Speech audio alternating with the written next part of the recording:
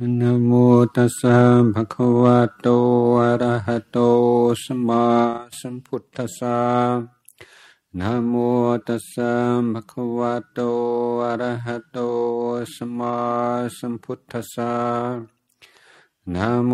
ตัสสะภะคะวะโต อะระหะโต สัมมาสัมพุทธัสสะพุทธังธัมมัง สังฆัง กุณุตรังอุปัชฌายังนัมมาสา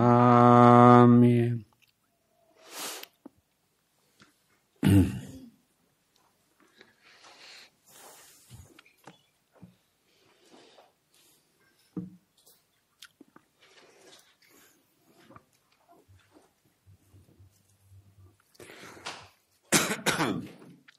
เมื่อตอนบ่ายมีคำถามเกี่ยวกับ อุปกิเลสสิบหกข้อตมากลับไปทบทวน คิดว่าจำได้ การการแสดงธรรมในหมวด หมู่ต่างๆนี่อันตรายเหมือนกัน แต่ก่อนอยู่วัดนานาชาติแสดงธรรมตอนดึก ๆ บางทีก็เริ่มไปสูบว่ามีหกข้อเนี่ย เริ่มข้อที่สามคือโอ้ตายแล้วข้อที่ห้าคืออะไรครับมีจะสารภาพเคยว่าข้อที่สี่เนี่ยอ่าก็ข้อข้ามไปข้อที่ห้าเพราะมันสำคัญกว่าเยอะเวลาจำกัดอะไรอะไรอย่างเงี้ยที่จริงจำไม่ได้ แม้แต่ลุงโพชาเคย เคยเทศเรื่องอริยมรรคมีองค์แปดท่านก็จำไม่ได้หมดนั่ก็เป็นกำลังใจ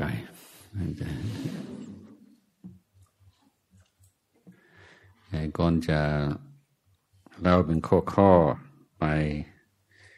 โอ้อาจารย์จิวจะช่วยสกิดขอบคุณมากครับ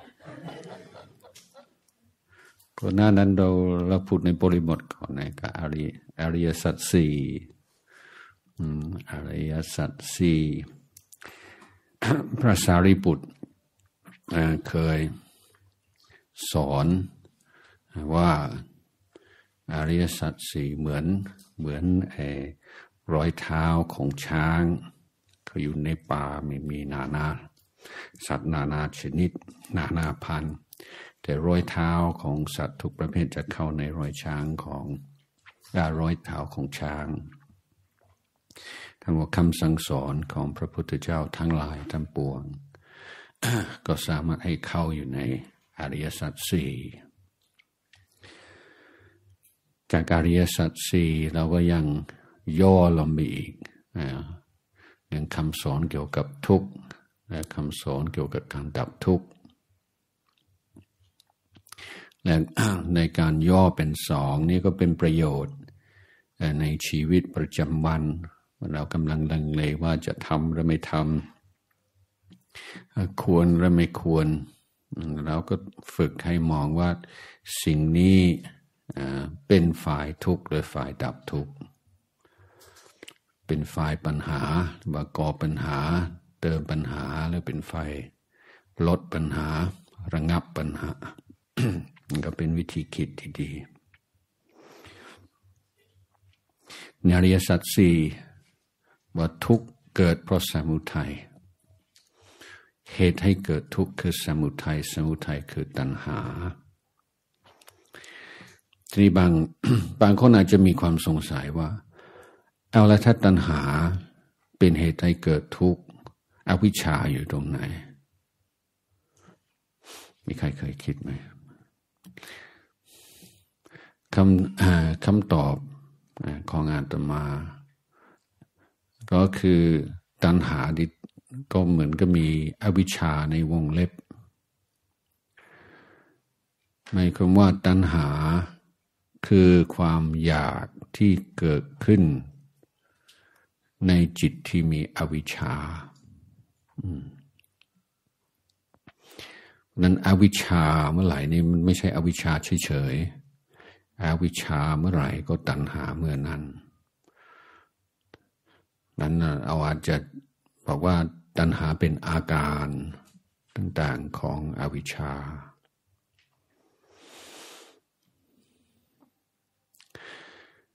ตัณหา มีสามคือกามตัณหา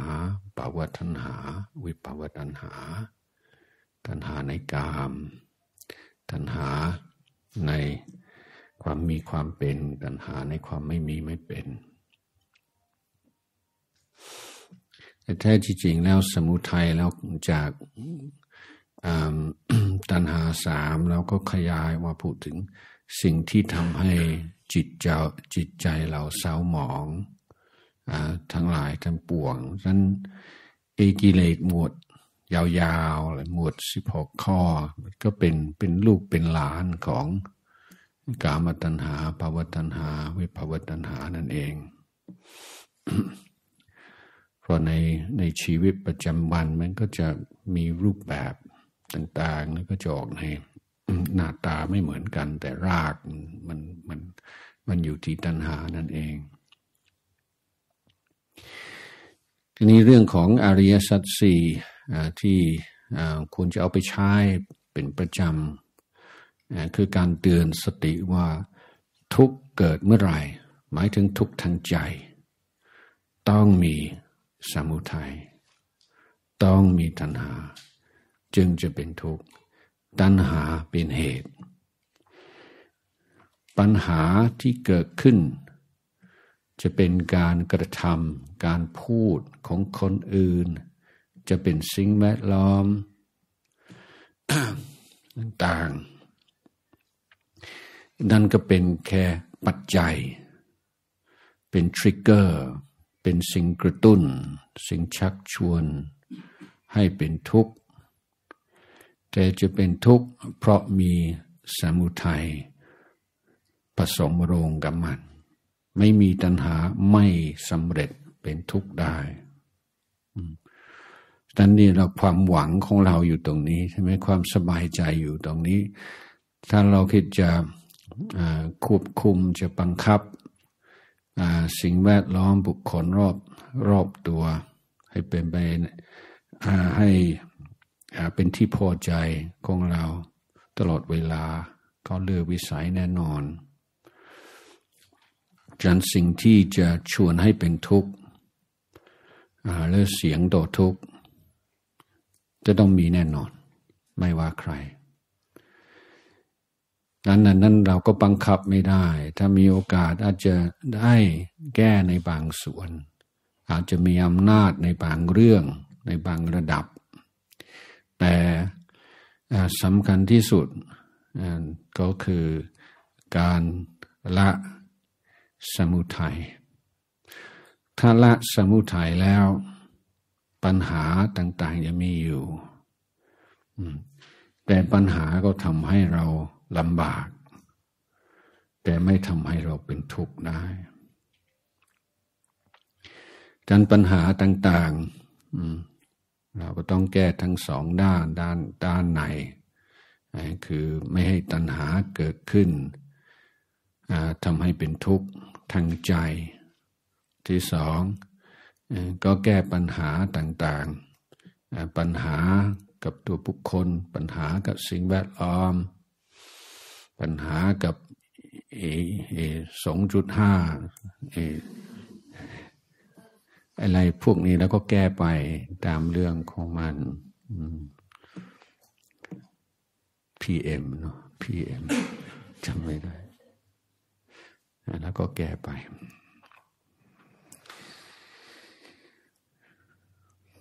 ฉะนั้นเมื่อเรากำลังทุกข์ใจ อืม ทุกข์ใจถามตัวเองเลยว่าเอกตัณหาตรงไหน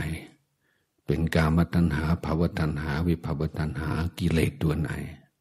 อันนี้คืองาน อันนี้คือธุระที่เราต้องรับผิดชอบ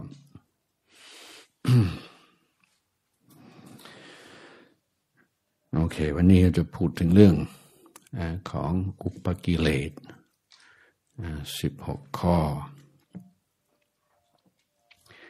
ข้อแรกคือเป็นคอร์ดอยู่กับความโลภความโลภที่รุนแรงอยากได้แบบจนหน้ามืด คือเวลาเราอยากได้อะไรสักอย่าง ก็ลองลองสังเกตก่อนที่จะอยากได้อะไรสักอย่าง ก็ต้องมีความรู้สึกว่าพร่องใช่ไหมต้องรู้สึกว่าขาด ถ้ารู้สึกอิ่มตัวแล้วมันจะไปอยากได้อะไรทำไมใช่ไหมจะเป็นของเกินก็ขี้เกียจแต่ที่เราเกิดอยากได้พอเรารู้สึกพร่องรู้สึกขาด เรามีความหวังว่าถ้าได้สิ่งนั้นแล้วความรู้สึกว่าขาด ความรู้สึกว่าพร่องจะหายไป แต่ความคิดก็ยังมีความคิดผิดอีกแฝงแฝงอยู่ในความหวังนั้นก็คือจะ ระงับความรู้สึกว่าพร่องตลอดไป ตลอดกาลนาน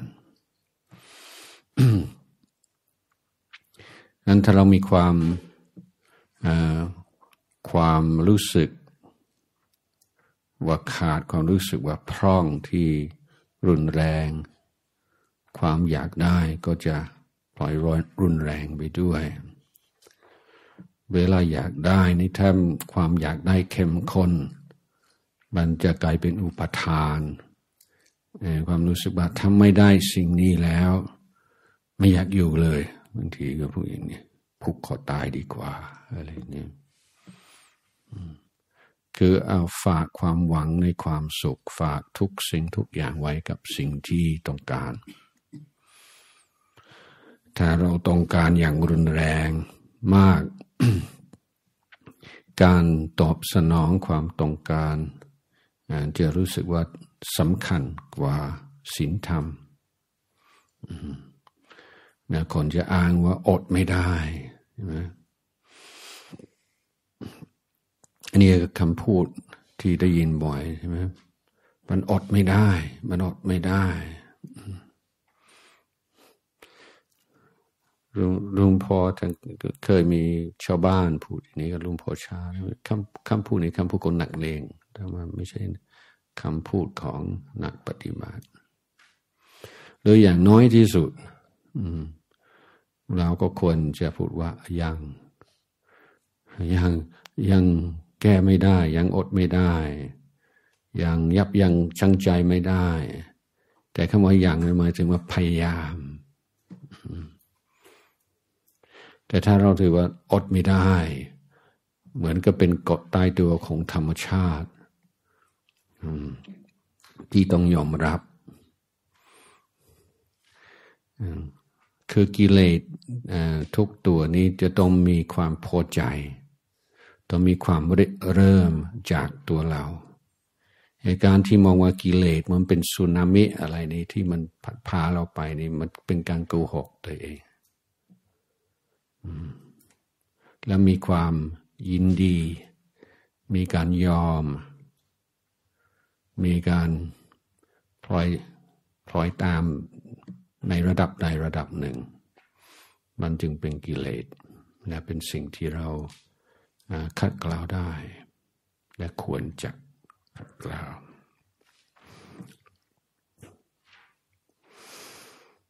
ดังนั้นเราเราก็ควรจะ สังเกตจากประสบการณ์ของเราประสบการณ์ของคนอื่น ว่าได้แล้วรู้สึกยังไงไหมมันมันระงงับความรู้สึกพร่องได้ไหม หรือได้สักกี่กี่วินาทีกี่นาที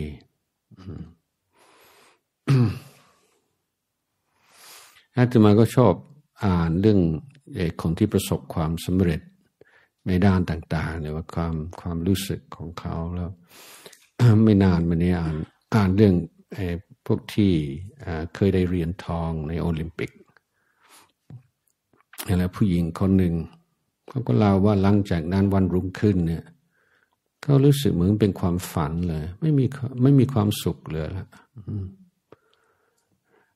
แล้วผู้ที่เคยประสบความสำเร็จสูงอย่างได้เหรียญทองโอลิมปิกอะไรนะพอเลิกแข่งแล้ว ก็จะเป็นโรคซึมเศร้ากันเยอะเลย เพราะไม่พิเศษเหมือนแต่ก่อน และพวกที่มุ่งมั่น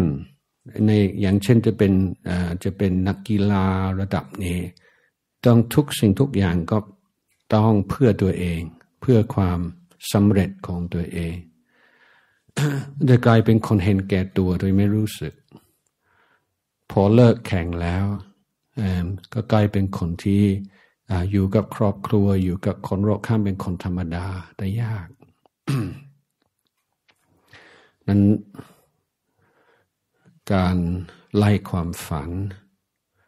ซึ่งน่าจะเป็นเรื่องที่ผู้ใหญ่ตักเตือน ก็กลายเป็นอุดมการของคนจำนวนมาก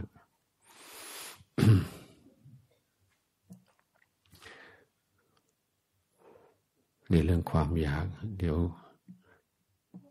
พูดนานไม่ได้สิบหกข้อ เดี๋ยวมันจะมันจะมือมันจะดึกเคยเหมือนกันสองชั่วโมงสามชั่วโมงข้อที่สองก็คือพยาบาทปองร้าย นี่ชอบเขาแค้นใจ คือไอ้เรื่องความแค้นนี่มันมีความเพลินอยู่ในมันมันมีความสนุก พูดกับลูกศิษย์คนหนึ่งเรื่องนี้บอกว่าเขาเขากำลังแค้นคนคนหนึ่ง อยากจะทราบว่า เขาดวงเกินยังไงเขาทำยังไงจนแค้นขนาดนี้ก็ไม่ได้ทำอะไรกับเขาทำอะไรกับเพื่อนแค้นแทน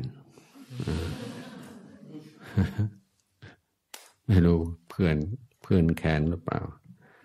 แต่รับเลย เหมาเอาเลยแค้นแทนเพราะอะไรมันเป็นนิสัยชอบมั นรู้สึกมันมีความสนุก มีความมันมีมีอะไร รู้สึกมีชีวิตชีวามันในนี้ก็เป็นของเสพติดได้เหมือนกันนั้นพยาบาทปองร้ายมันสนุกอยู่ แต่ว่าเป็นตัวเปลี่ยนเปลี่ยนเมตตาธรรมเราต้องแล้วต้องเลือกใช่ไหมจะเอาทั้งสองอย่างจะ เอาทั้งพยาบาท เอาทั้งเมตตาไม่ได้ ถ้าจะเลี้ยงตัวพยาบาทเอาไว้ ก็อย่าอย่าพึ่งหวังตัวเมตตาจะเป็นที่พึ่งทางใจได้เลย มันเป็นปฏิบัติต่อกันและกันเป็นศัตรูต่อกันและกันเรื่องการการปองร้ายนี่เราก็ขึ้นอยู่กับการ ยึดมั่นถือมั่นในว่าเขาเป็นอัตตาตัวตนที่ทำแต่มันจะมองไม่เห็นสิ่งทั้งหลายตามเหตุตามปัจจัย คือปองร้ายได้เพราะมันก็ดูเฉพาะบางแง่บางมุมของเรื่อง บางแง่บางมุมของเหตุการณ์ ก็รับรู้แต่ในนิสัยใจคอหรือหรือบางสิ่งบางอย่างของบุคคลนั้น มันไม่ใช่การรับรู้ตามความเป็นจริง เห็นทุกแง่ทุกมุม เพราะความพยาบาทก็เราจะเห็นได้ชัดเลยว่ากิเลสเกิดขึ้น เมื่อเรามองแต่บางส่วนของกระบวนการและบางแง่บางมุมมันไอการที่จะห้าม ห้ามไม่ให้คิด มันมันจะไม่ค่อยได้ผลนะ แต่ถ้าเราถอยออกมาซูมออกมาแล้วก็เห็นทั้งหมดความพยาบาทมันมันก็อยู่ไม่ได้ ความพยาบาทอยู่เพราะว่า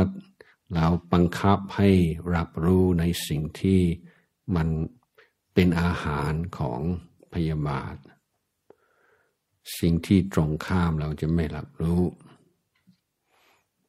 มันตัวพยาบาทจึงเป็นสิ่งเศร้าหมองในจิตใจคำต่อไปคือโกรธ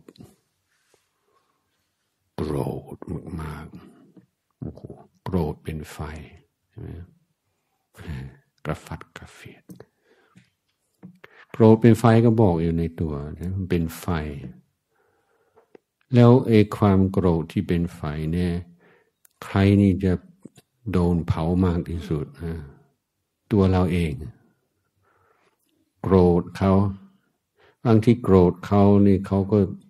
ยิ่งมีความสุขใช่ไหมเพราะว่าผู้โกรธนี่ก็ไม่มีความสุข นั้นเอเอความโกรธก็เป็นการทำลายความสงบของจิตใจ แล้วเมื่อโกรธแล้วทำได้ทุกอย่าง ใช่ไหมถึงฆ่าคนก็ฆ่าได้นะถ้าโกรธ โกรธจริง ๆ มันอันตรายอย่างนี้เราเปรียบเทียบ เหมือนป่าไม้บอกว่ากว้างใหญ่ไพศาลล้านไร่ล้านตารางกิโลเมตร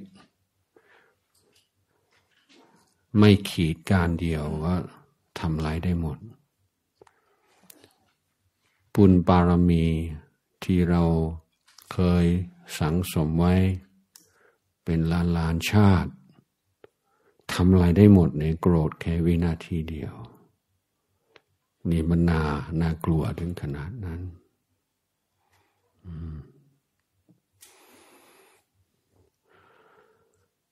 ความโกรธ โกรธทำไม มันก็โกรธเพราะตัณหาใช่ไหมอยากได้อะไรสักอย่างไม่ได้สิ่งนั้นใช่ไหมครับบางทีโกรธเพราะกลัว ไม่กลัวที่ไหนก็โกรธตรงนั้นโกรธคนที่ทำให้เรากลัวถ้าอย่าสมมติเราเห็นใครที่ เป็นอันตรายต่อลูกเรา กลัว กลัวลูกเราจะอันตรายในกลัวนี้ก็ต่อเป็นโกรธอันนี้โกรธก็กลัวมันจะอยู่ด้วยกัน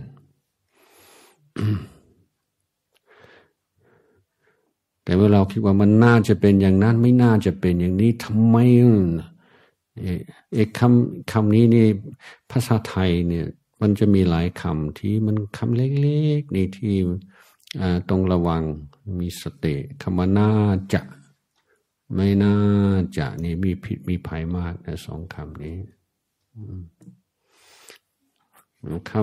ำคำต่างๆที่ที่ทำให้รู้สึกว่ามันมีสิทธิที่จะเป็นอย่างนั้นมันควรมันไม่ควร มันน่าเกลียด ยิ่งถ้าเรารู้สึกมีมีเหตุมีผล อันนี้ยิ่งปล่อยเลยฮะเหมือนกับ ไม่เป็นไรแล้วมันมีเหตุมีผลที่จะโกรธราะฉะนั้นไม่น่าจะผิด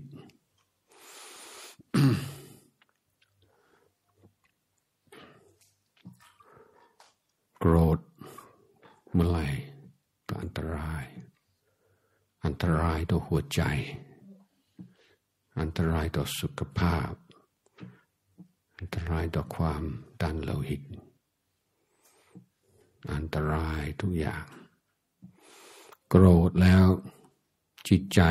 จะหยาบคาย ไม่สามารถจะชั่งน้ำหนักของเรื่อง จะพูดยังไงจะทำยังไง เรื่องจะเป็นการแก้ปัญหาในระยะยาว มีแต่ระเบิด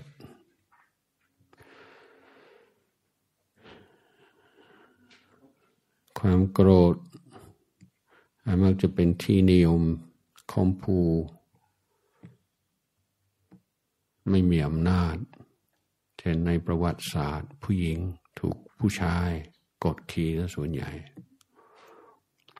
พูดอะไรมีเหตุมีผล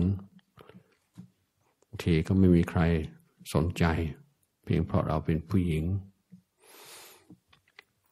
ก็จะมีเวลาเดียวที่ ผู้ชายยอมฟัง เวลาเราโกรธนั้นมันก็ทำให้เรารู้สึกให้ผู้ไม่มีอำนาจ รู้สึกมีอำนาจขึ้นมา อันนี้คือเสน่ห์ของมัน พระพุทธองค์ก็ตรัสไว้กิเลสจะรู้เท่าทันกิเลส จะศึกษาให้จบในเรื่องของกิเลสหนึ่งจะต้องเห็นมันเกิดขึ้นอย่างไร สองมันดับไปอย่างไรด้วยเหตุปัจจัยอะไร สามต้องเห็นเสน่ห์ของมัน สิ่งที่ทำให้เราติด เพราะถ้าเราไม่เพลินไม่ยินดี ไม่หลงกับมัน กิเลสมันเกิดไม่ได้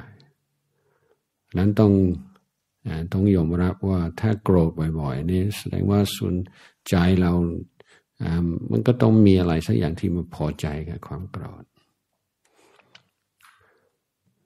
ที่สี่ต้องเห็นโทษของมัน เห็นทุกข์ของมัน เห็นปัญหาที่เกิดขึ้น เพราะกิเลสเช่นความโกรธเป็นต้นห้าต้องหาการลุดพ้นจากกิเลสตัวนั้น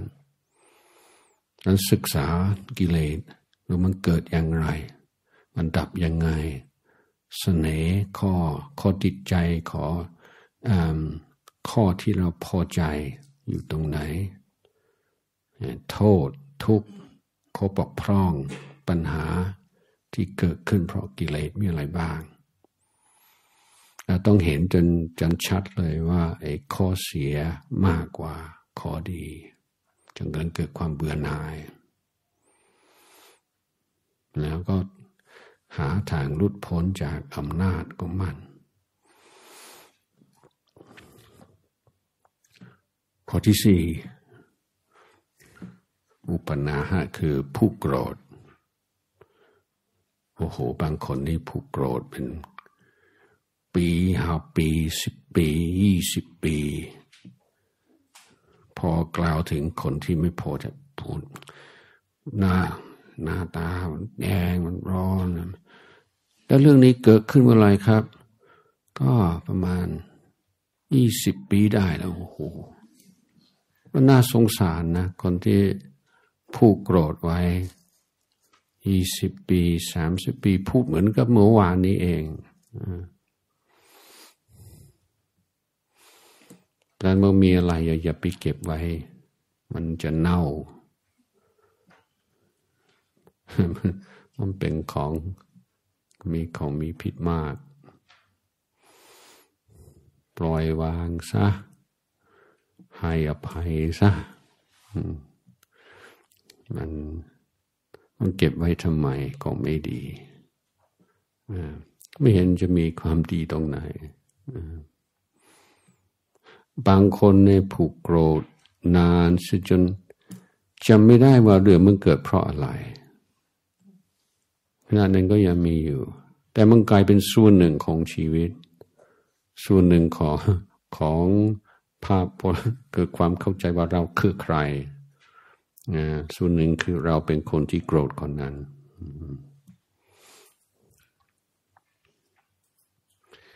นี่เราบางทีเราก็หลอกตัวเองนคำว่ามันทนไม่ได้ มันรับไม่ได้ มันให้อภัยไม่ได้ ที่พอพูดอย่างนี้บ่อยๆ อยู่ไปอยู่มาก็เชื่อฉันจำตามนั้น แล้วทำไมอะมันรับไม่ได้มันทนไม่ได้ ให้อภัยไม่ได้มันเพราะอะไร มันเลือวิสัยจริงๆอะคือมันไม่อยากนะก็เป็นเรื่องของความอยาก ที่ว่าทนไม่ได้คือไม่อยากทนให้อภัยไม่ได้แปลว่าไม่อยากให้อภัย มันเป็นเรื่องความอยากมากกว่า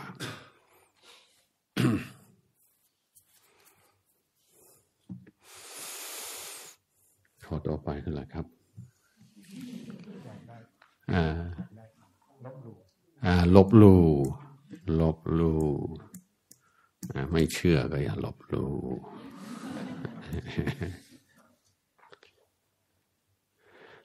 ลบความลบหลู่นี่มันเกิด คือบางคนนี่อยากจะเด่นคนเดียวใช่ไหมไอ้ซ่องคอนี้มันมีลบลูกติเสมอก็เป็นก็เห็นกับคำว่ายกตนข่มท่านเห็นก็ไปด้วยกัน เราจะยกตนให้ให้สูงขึ้นนี่ก็ต้องกดคนอื่นให้ให้ต่ำลงฉะนั้นจะรับไม่ได้ในความดี คือ คือกิเลสตัวนี้นะถ้าถ้าผู้ใหญ่ชมเพื่อนไม่ชมเรารู้สึกยังไงแล้วก็ทำได้เหมือนกันไม่เห็นเขาเก่งเท่าไหร่ใครๆก็ทำได้ ไม่พิเศษอะไรนี่จะไม่ชมทำไม คือมันจะมีการลดความสามารถความเก่งความดีของคนอื่น พอรู้สึกเหมือนเหมือนก็จะถ้าคนอื่นดีแสดงว่าความดีของเราเหมือนก็จะเฉาลงจะรีลงเพราะนั้นเอเอเอกิเลตัวไลตัวก็อยู่ที่ว่าเราคือใครในสังคม เราคือใครในสายตาคนอื่น เราคือใครในสายตาของคนที่เรารัก หรือเราเคารพ ทีนี้ถ้าเราคิดอย่างนี้มากความรู้สึกตัวคนรอบข้างจะเปลี่ยนไปใช่ไหมพุทธองค์ก็ตรัสให้เรามองทุกคนว่าเป็นเพื่อน เพื่อนเกิดแก่เจ็บตาย เพื่อนรักสุขเกลียดทุกข์เหมือนเหมือนกัน ให้เราเห็นสิ่งที่เหมือนกัน อันนี้ถ้าจิตใจของเราคิดว่าจะต้องดีกว่าเขาเด่นกว่าเขาก็รับยอมรับในในความดีของคนอื่นไม่ได้ ตีเสมอก็เหมือนกันไม่อยากให้ใครสูงกว่าเรา พยายามเห็นว่าเรา ก็อยู่ในระดับนั้นเหมือนกัน ทีนี้มันมีมีพระสูตรพระสูตรหนึ่งพุทธองค์ตัดถึงปัณฑิตกพานเรื่องการพูดเรื่องตัวเองและคนอื่นนี่ว่าถ้าเป็นพานเอาพานก่อนก็พานจะพูดเรื่องคนอื่น ถ้าพูดเรื่องความไม่ดี ของคนอื่นอูบรรยายยาวเลย รายละเอียดหมดเลย มีข้อหนึ่งเอหนึ่งปีหนึ่งสี่นั้นพูดยาว ไม่อยากจะพูดแต่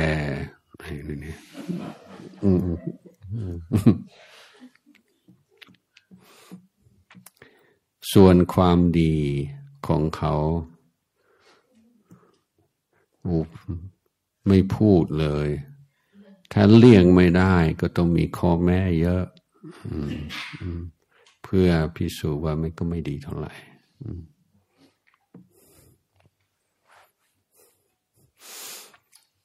พูดถึงตัวเอง ความไม่ดีนี้ไม่อยากพูดเลย ไม่จำเป็นจริง ๆ ไม่พูด ปิดปางอำพรางถ้าพูด ก็พูดให้มันให้มันดูว่ามันน่าเห็นใจ ที่จริงมันไม่ มันก็ไม่แล้วร้ายเท่าไหร่ แต่พูดถึงความดีของตัวเองโอ้บรรยายาวเลย อันนี้คือผ่าน ส่วนบัณฑิตตรงกันข้ามใช่ไหมพูดถึงคนอื่น เรื่องความไม่ดีของคนอื่นนี่ถ้าไม่จำเป็นจริง ๆ ไม่พูด ถ้าพูดก็มองเขาในแง่ดี ให้เขาว่าโอ้เขามีความกดดันมาก แล้วเขามีปัญหา คือพยายามให้ให้ลดความรุนแรงของความไม่ดี ให้เห็นอกเห็นใจกันบ้างส่วนความดี ก็พูดยาว ไม่ต้องมีใครถาม ให้เป็นคนให้คนยกคอสังเกตเออคนนั้นน่าเก่งเนาะนนั้นน่าชื่นชมเนาะน่านุโมทนานะส่วนความดีของตัวเอง ถ้าไม่จำเป็นจริง ๆ ไม่พูด ถ้าพูดก็พูดนิดเดียว แต่ความไม่ดีของตัวเองเนี่ยถ้าเป็นประโยชน์ ก็เปิดเผย แล้วไม่ไม่ปิดบังอำพรางธรรมาเคยพูดเรื่องลุมพอชา ท่านจะไม่ค่อยกล่าวถึงตัวเอง แต่ถ้าถ้าจะเล่าถึงชีวิตของท่านท่านจะเล่าถึงกิเลสมากกว่าข้อปกครองปัญหา ตอนบวชใหม่ ๆ ราะท่านอยากจะให้กำลังใจกับลูกศิษย์ลูกหาว่าเริ่มต้นเนี่ยท่านก็มีปัญหาเหมือนกันแต่ท่านสู้ ท่านอดทนท่านไม่ท้อแท้จนในที่สุดทั้งชนะได้บางนานบางทีเราเห็นครูบาอาจารย์ แล้วก็มองท่านโอ้รู้สึกทันกับเราเนี่ยมันกับมนุษย์คนละพันเห็นไหม ทอเออยกมือซาตัวแต่เราก็ไม่แต่รู้สึกอู้เราก็คงไม่มีทางจะเป็นอย่างนี้ อืมอ่าแต่ท่านก็อยากให้เราเห็นว่ามีสะพาน เพราะว่าแต่ก่อนอท่านก็เป็นอย่างนั้นเหมือนกัน และต่อไปเราจะเป็นอย่างท่านได้เหมือนกันท่านจึงไอ้เรื่องความความดีของท่านเลยไม่ต้องพูดอยู่แล้ว เราเราก็สัมผัสโดยไม่ต้องทราบรายละเอียด แต่แต่การท่านก็พูดด้วยความเมตตาด้วยความวังดีต่อเราอันนี้ก็ก็เลยไม่มีการหลบลูถ้าถ้าเห็น รู้สึกจะเคยเล่าว่ามีอยู่ปีหนึ่งนานมากแล้ว ตอนสมัยท่านคุณพุทธทาสยังมีชีวิตอยู่ อาตมาไปเจออาจารย์อยู่เชียงใหม่เนี่ยที่สมัยนั้นก็มีโยมกลุ่มกลุ่มหนึ่งที่ศรัทธานับถือมาก อยากให้อาตมาไปกราบไม่ได้แล้วองค์นี้ท่าน ท่านก็มีอะไรที่มันก็น่าประทับใจเหมือนกันแต่ท่าน ท่านจะพูดเหมือนกับว่าครูบาอาจารย์ในในในเมืองไทยอีสานเนี่ยไม่ ไม่แท้หรอกไม่ไม่ใช่ ท่านก็มีทฤษฎีของท่านว่าสรุปอะไรว่า ท่านเก่งองค์เดียวแล้วตอนนั้นอาตมาก็ยังบวชไม่กี่ปีก็ก็ได้ลงไปกราบเจ้าคุณพุทธทาสถามว่าเอแล้วเมื่อมีพระผู้ใหญ่ที่บวชได้สี่สิบพรรษาห้าสิบพรรษาแล้วดูแบบ สง่าผ่าเผยมีลูกศิษย์ลูกขามากมาบอกว่าท่านนี่แหละแท้ องค์อื่นไม่แท้เราเราเราจะวางใจอย่างไร เราจะเชื่อมากน้อยแค่ไหน ท่านท่านบอกท่านสอนดีมากเลย ท่านบอกว่า ถ้าองค์ไหนยกตนคมท่านก็ไม่ใช่แล้วแม้แต่โซดาบันก็ไม่ทำอย่างนั้นแล้ว นั้นไอการที่แบบยกยกตนว่าสำนักนี้เท่านั้นที่ถูกสำนักอื่นผิดหมดต้องอย่างนี้เท่านั้นที่แท้ อย่างอื่นมันก็แปลกปลอมไม่ใช่แหละแต่นี้ต้องระแวงไว้เรีความอ่อนน้อมถ่อมตนมันดูงามใช่ไหมการตีเสมอมันก็ดูไม่งาม แค่นี้ในความรู้สึก สามัญสำนึกมันก็ดูน่าเกลียดอยู่แล้ว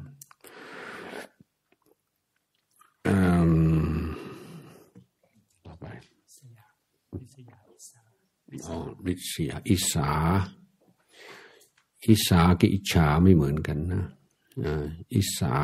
ริษยา อยากได้ของเขา ไม่พอใจที่เขาได้ เราไม่ได้ อยากจะได้ของเขา อยากจะมีส่วนของเขา ก็เกิดจากอะไรก็เกิดจากความไม่สันโดษ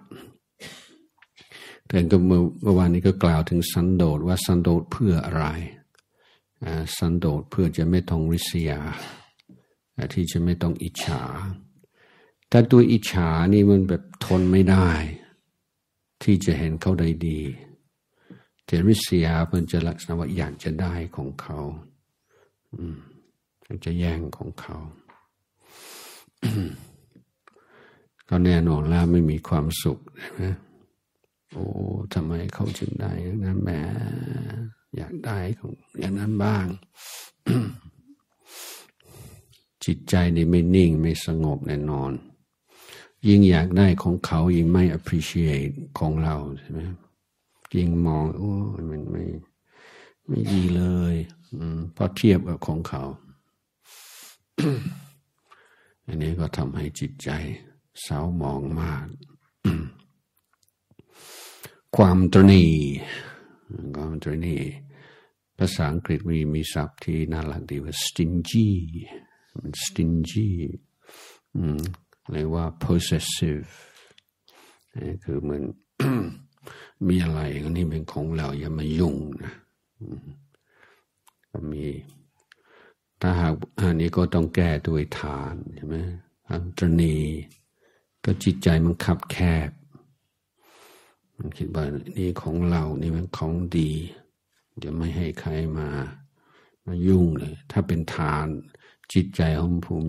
มีทานบารมีตรงกันข้ามใช่ไหมเออนี่มัน มันดีนะถ้าเรากินคนเดียวมันเสียดายเนาะมีความสุขคนเดียว แบ่งให้คนอื่นมันก็ได้กำไร มีความสุขสองคนใช่ไหมมันก็เป็นเรื่องของเศรษฐศาสตร์ใช่ไหมถ้ามันมีขนมกินคนเดียวมันก็ก็คนที่ได้ความสุขก็หนึ่งคน ถ้าแบ่งคนละครึ่งก็ได้กำไร มีความคนมีความสุขสองคน ใช่ไหมประสิทธิภาพสูงกว่าหนึ่งขนมทำให้คนสองให้คนมีความสุขสองคนดีกว่าคนเดียว ทุกอย่างถ้าเรามีทานแล้ว เออ มันดีเนาะแต่ตัวเองมันใช้ไม่หมดหรอกก็แบ่งให้คนอื่น ให้เขามีความสุขบ้าง แต่ความตนีนั้นมันจะคอยนั้นความตนีมันก็เกิดขึ้น หลายเรื่องในของสงฆ์บางทีก็ตนีในกุฏิโอ้ยกุฏินี้ชอบมากโอ้ยจะต้องไปต่างจังหวัดนั่นไม่ไม่ไปดีกว่า เดี๋ยวต้องเสียสละกุฏิกลับมามันจะมีคนอื่นมาอยู่หรือว่า หรือว่าพระบางท่านบางทีก็มีลูกศิษย์ มีเงินมีทอง ลูกศิษย์บอกว่าท่านอาจารย์คะได้ข่าวมันมีวัดอยู่ที่ที่โน่นที่เขาว่าดีมากเลยว่าอาจารย์ท่านสอนดีโอ้ ไม่ต้องไปอมันไกลลำบากกลัวว่าลูกศิษย์จะไปศรัทธาองค์นั้น มันไม่ทำบุญที่นี่วัดจะขาดทุน อันนี้ก็คือตรณี ตรณีลูกศิษย์มันจนหีได้ทุกอย่างก็มีอะไรที่รู้สึกว่ามีค่าไม่อยากให้คนอื่นมีส่วน พุทธองค์ก็เคยตรัสไว้เรื่องความตนีว่าเป็นอุปสรรคต่อการเจริญสมาธิภาวนา เพราะว่าผู้ที่มีความตนีในจิตใจมันเป็นไปไม่ได้ที่ผู้ที่มีความตนีในจิตใจจะบรรลุปฐมฌานทุติยฌาน คือคือบำบิงกิเลสที่มันมันร้ายแรงถึงขนาดนั้น ต่อไปนะมายาแล้วก็ขอต่อไปสัทยะมัญญามายา ก็เป็นการลักษณะการหลอกลวง เพื่อให้เข้าใจผิด ที่ก็ต้องการผลประโยชน์บางสิ่งบางอย่าง แล้วกลัวจะพลัดพรากอะไรบางสิ่งบางอย่างแอนก็มีเทคนิคที่จะที่จะหลอกลวงเพื่อผลประโยชน์ เมื่อมีเมื่อมีความคิดที่จะ manipulate คำนี้ดีนะภาษาไทยมันหาศัพท์ตรงกับคำนี้ไม่ค่อยจะได้ มันมันมีความรู้สึกมาใน manipulate วิ่งอยู่ไหนฮะวิ่งอืมอ่าแปลว่าอะไรฮะอ่า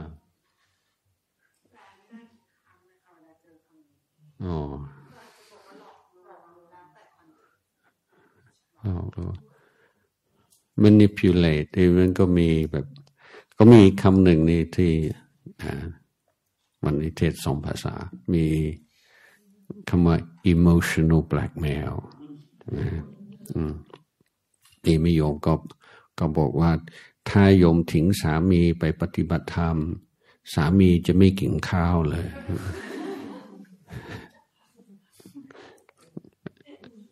ทำไมเรื่องของเขาไมีกินก็เรื่องของเขาเขาไม่ใช่เด็กน้อยอะ อันนี้ก็คือ emotional manipulate เขาอยากให้ทำให้เรารู้สึก guilty ใช่ไหมอืม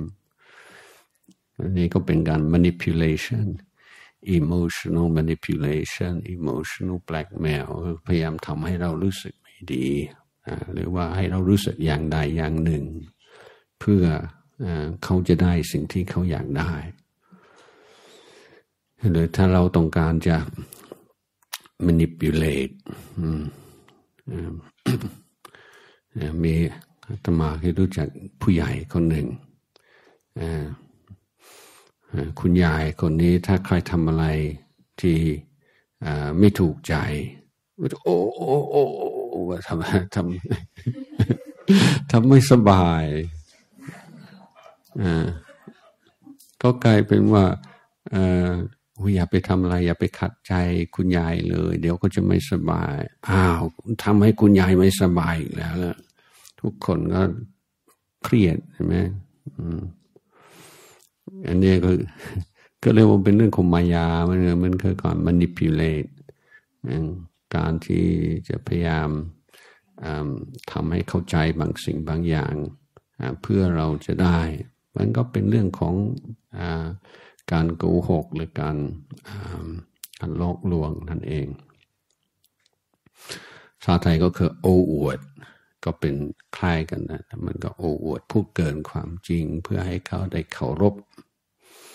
เนี่ยนี่เราก็เล่นละครเราก็เป็นบริวารลิงเราก็ให้ทุกคนเข้าใจเราเป็นหนุมานนี่ก็จะเป็นเอาเรื่อง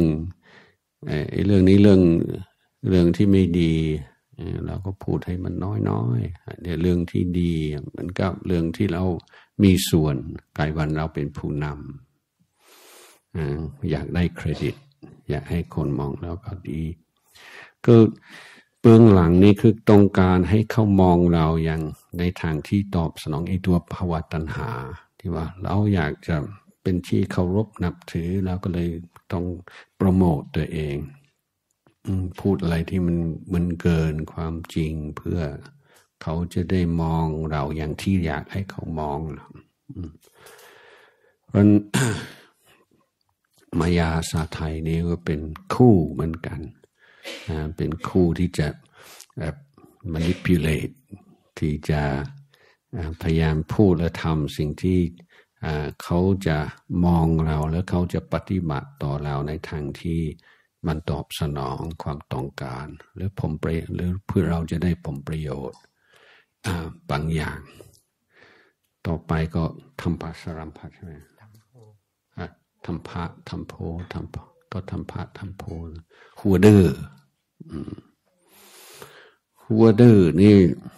ยากนะเพราะว่าหลายคนที่หัวเดือมันเป็นผู้ที่ยืนหยัดในหลักการ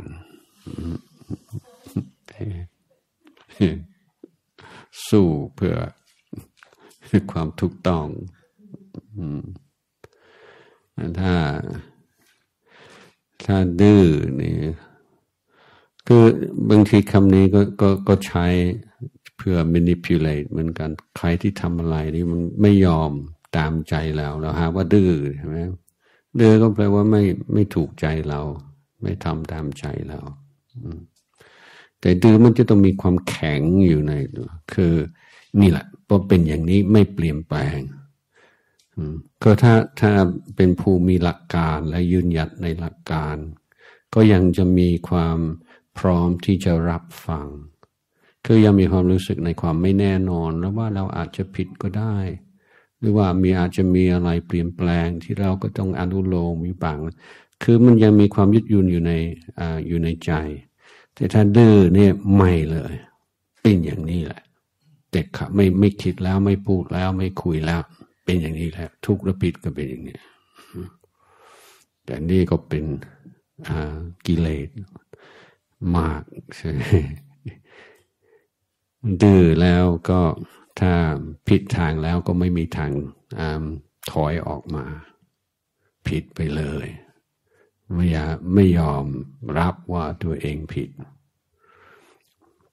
แบบว่าดื้อจนตาย ดีกว่าให้ทุกคนรู้ว่าเราคิดผิดเราทำผิด อันนี้ก็เป็นเรื่องของอัตตาตัวตนมาก สารัมภะคืออะไรฮะสารัมภะไม่ยอมตามปารบไม่ ยอมตามอ๋ออ๋อมันมันมันมาแข่งขัน แข่งดี มองทุกคนก็เป็นตัวแข่งต้องชนะเขาให้ได้แม้แต่ในวัดเนี่ยสมัยก่อนในพวกทำไมเขาบริหารไอ้พระนุ่มยี่สิบตนตนนะโอ้นั่งสมาธิต้องชนะคนอื่นนะมันมันถ้าญาติโยมรู้เนี่ย พระพวกนี้นั่งเก่งเนาะนั่งถึงต้องนั่งนาน ใครจะนั่งนานกว่า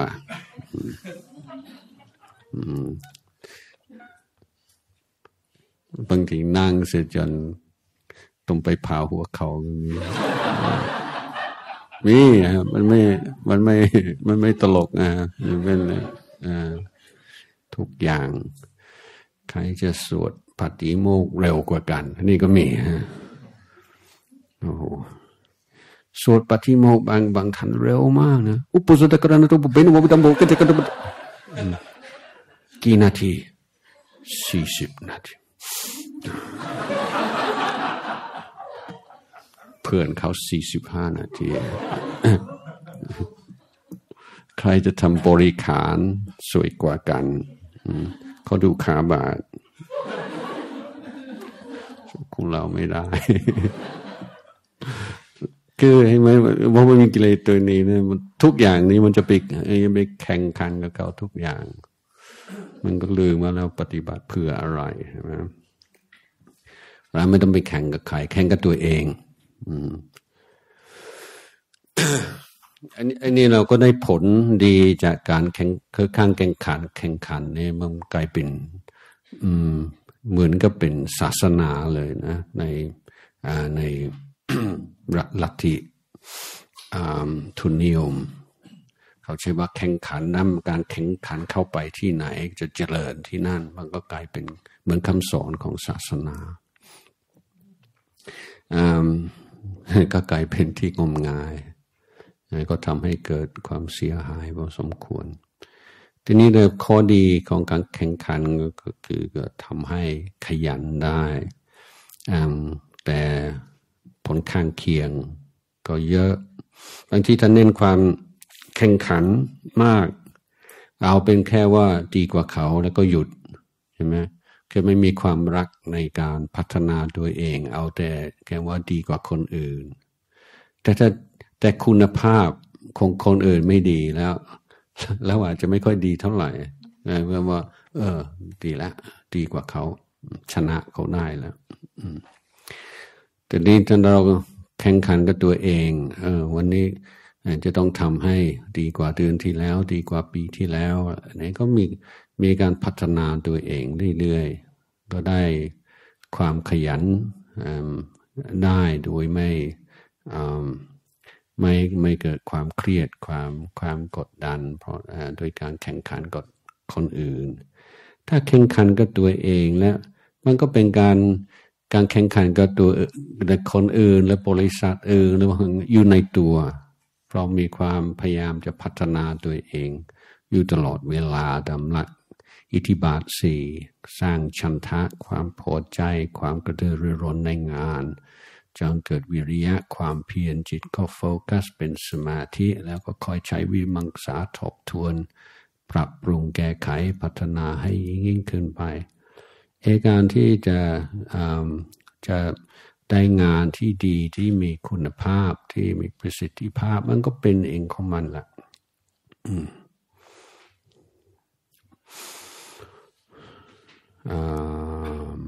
มานะใช่ไหมครับ มานะ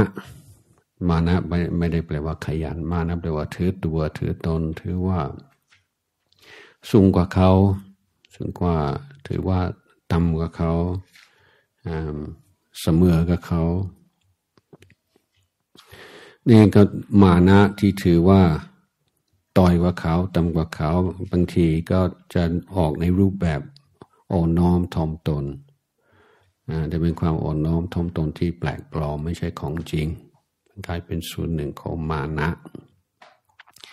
มานะเป็นกิเลสที่ละเอียดลึกซึ้งมีแต่พระอรหันต์ที่ละได้โดยสิ้นเชิงไม่แต่พระโสดาบันพระสิก็ยังมีอยู่บ้าง พระเคมกะพยายามอธิบายว่ามานะของพระอนาคามีเป็นอย่างไรท่านบอกว่าเหมือนผ้าสกปรก เราสักผ้าให้สะอาดสะอ้าน ขาว สวยงาม แต่ก็ยังมีกลิ่นคงอยากสักฟอกกลิ่นก็อยากสักฟอกคือมานะของพระอนาคามีเป็นก้อนมานะมันก็จะละเอียดลึกซึ้ง แต่ก็ยังยังมีอยู่มานะที่คนจะไม่ค่อย ไม่ค่อยสังเกตกันมานะว่าทุกคนเสมอกันคุณไม่ก็ไม่มีอะไรดีกว่า ใครเราทุกคนมันเสมอกันหมด อันนี้ก็เป็นมานะเป็นประชาธิปไตยอันนี้ก็เป็นมานะได้เหมือนกันถ้ามันเป็นอัตตาตัวตนแต่ในอุปกิเลสสิบหกก็ยังเน้นขอที่อัติมานะ ดูถูกดูหมิ่นการ มานะถึงขั้นที่ถือว่าตัวเองสูงกว่าและดูถูกคนอื่นในในชีวิตคู่ในสิ่งที่ในอุปกิเลสข้อไหนที่เป็นอันตรายต่อชีวิตคู่มากที่สุด บางคนอาจจะว่าโกรธ บางคนอาจจะไม่ไอ้ตัวนี้อติมานะดูถูก ดูมินไม่ให้เกียรติในอันตรายที่สุด ถ้าแบบออีกแล้วนี่อันตรายอย่าไปทำอย่างนั้นดังอันนี้ดูจากผลงานของด็อกเตอร์ใครสนใจเรื่องนี้ดูมีมี marriage laboratory ที่อเมริกาที่เขาทำกันค้นคว้าเรื่องเรื่องชีวิตคู่ อันนี้ก็ผลงานที่ชัดเจนว่า สิ่งที่เป็นสัญญาณเดือนภัยในชีวิตครูคือการไม่ให้เกียรติซึ่งกันและกัน การดูถูกดูหมิ่นซึ่งกันและกันสองข้อสุดท้ายมัทะกับพมาทามัทะก็มัวเมามัวเมาในการความยังอู้เรายังนุ่มยังสาวยังแข็งแรง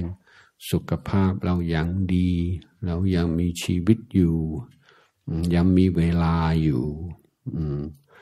จะตายไหมคงจะตายวันใดวันหนึ่ง ก็คงไม่ใช่วันนี้คงไม่ใช่เร็วๆนี้ให้เรา enjoy the moment อะไรอันนี้เรียกว่าเมา